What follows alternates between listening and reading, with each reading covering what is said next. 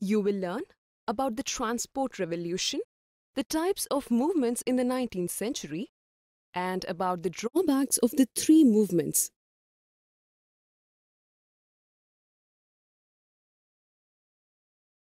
The 19th century changed the world's history deeply. This period was remarkable by many new inventions and technological developments. There was a dramatic change occurred in the society due to economic, political, social and cultural developments. Transportation played a vital role in the economic development. The railroad was the major advancement in land transportation.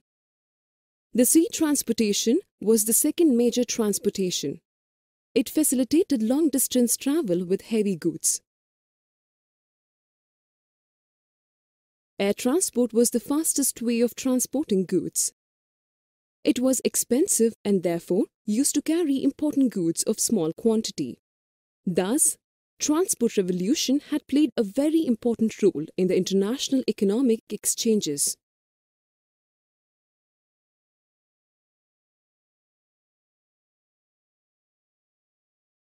Economic experts categorized three types of movements regarding international economic exchanges.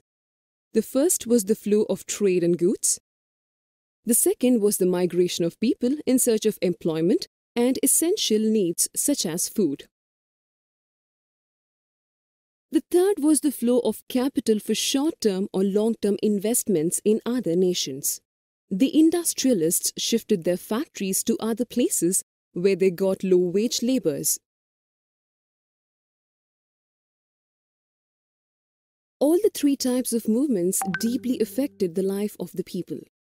Because international traders imported low-priced goods from other countries, the domestic business also affected greatly.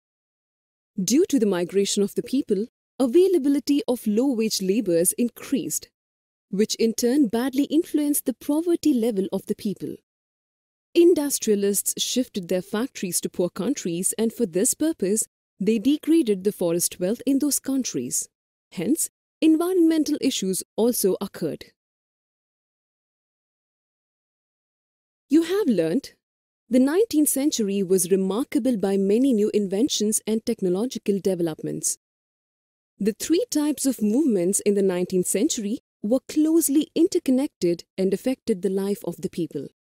International traders imported low-priced products from other countries, hence the domestic business was affected greatly. Due to the people's migration, availability of low-wage labours increased, but the poverty level was not decreased.